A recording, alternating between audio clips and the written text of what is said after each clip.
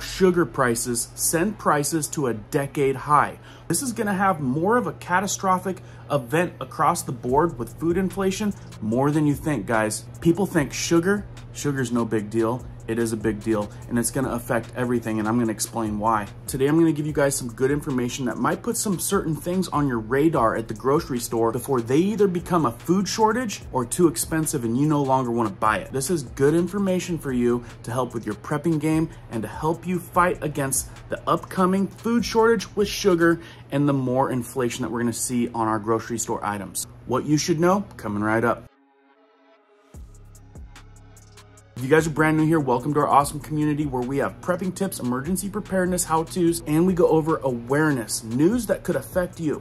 If you guys find value in that, be sure to hit the notification bell so you can stay up to date. Let's jump into this one. We're gonna go over this important article at groceries.news about global sugar shortage sends prices to a decade high and how this shortage is going to affect you and how it's going to affect prices across the board with all your groceries. There are more troubles in the food sector as market manipulation has driven up the price of sugar while creating what appears to be impending sugar shortages. A lack of deliverable sugar ahead of Friday's expiry has sent the white sugars futures contract for May to its highest level in more than 10 years. I'm telling you, this is a big deal and it's gonna send prices up across the board, and I'll get to that. According to John Stansfield, a senior sugar analyst at DNEXT Intelligence, the open interest for white sugar or the number of contracts still needing to be closed implies a hefty delivery of the commodity above 880,000 tons. The problem is that when coupled with short positions,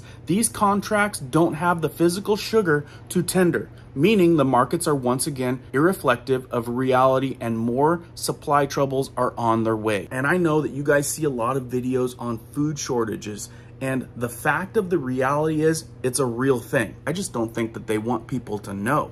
In the last three weeks, white sugar futures have surged in price by nearly 20%, hitting levels not seen since November of 2011. And we're seeing that across the board. We're hitting new records on all kinds of stuff these days, in a bad way. Related in the late 2010, heavy rains damaged sugar crops in Brazil, creating a shortage and sending prices soaring in 2011. And one of the big things happening here, guys, is global shortages of sugar expected to worsen as growers shift to even more soybeans. And we covered that in some previous videos. A lot of these farmers are having to jump ship to other farming endeavors to make it because of either fertilizers, lack of things that they need, or in some cases, they're just getting cornered and it's the only option they got. As usual, ordinary people will pay the price for the mess in the form of higher costs for sugar-laden food items like candy, soda pop, and baked goods. This in turn, will continue driving global food inflation at a time when prices are already at record high level. Now I told you, a higher sugar price or a shortage of sugar, how is that gonna affect everything across the board? Well, have you guys been at the grocery store lately? Looked at the sugar content in just about everything on the shelves? It's no joke. Sugar has been added to just about everything. And when it comes to making that product from certain manufacturers, they're gonna have to buy that sugar or find that sugar at a higher price, which means they're gonna drive up their product prices as well. And I'm telling you guys, sugar is in everything. And this is regarding the majority of the population. I know some of you guys out there have cut out sugar, and that's something that I have done personally. You start digging into how your body reacts to sugar, you're gonna find some things that you don't like. So the less sugar you guys are eating, the better. According to Bloomberg, sugar prices have jumped on prospects for limited exports out of primary shippers like India, as well as lackluster supplies countries like China, Mexico, Thailand, and Europe. India is currently one of the largest exporters of white sugar, but due to quotas that are almost exhausted, shipments are low and there's no real expectation of an increase anytime soon, said Soren Jensen, a longtime market observer. So, like I said, prices going up, shortages in sight, and no relief in sight. So this can serve as a warning. Probably something you want to notice if there's something out there that you guys are buying that has a lot of sugar in it, you might be watching those prices climb soon. It could be the case that India will soon have to shift from domestically produced raw sugar to imports from places like Brazil, which just began its sugar harvest. There are problems there too, though as Brazilian sugar is now competing against a record soybean crop for space on railways and the ports, this has created a transportation bottleneck. And you guys watch with all these issues with the trains and the railways, we're probably gonna be seeing a lot of those railways shutting down. A lot more restrictions probably soon to come with trains, which is just gonna further hinder supply chain issues. According to Wilmar International, head of analysis Kiram Salomon, sugar output estimates for the 2022 to 2023 season will worsen and the existing global shortage problem in the months to come. So like I said, this is going to serve as a pre-warning for our community. Sugar issues, more grocery inflation. Next year's crop will probably not be better, Solomon warned. The cane and beet acreage is likely to fall in most areas due to the effects of crop competition.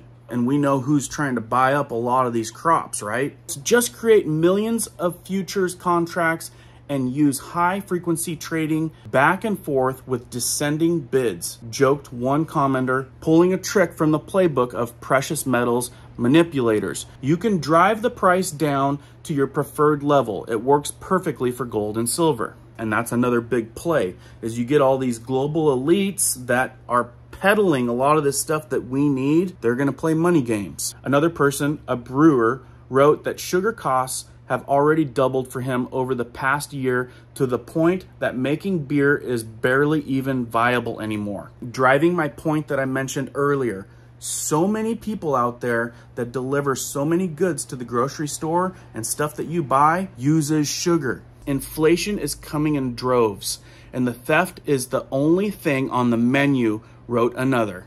And you guys have seen a couple of my past videos, the mobs of teens going out and just ransacking stuff, stealing stuff out of stores. That's the direction people are gonna be headed when things get really tough.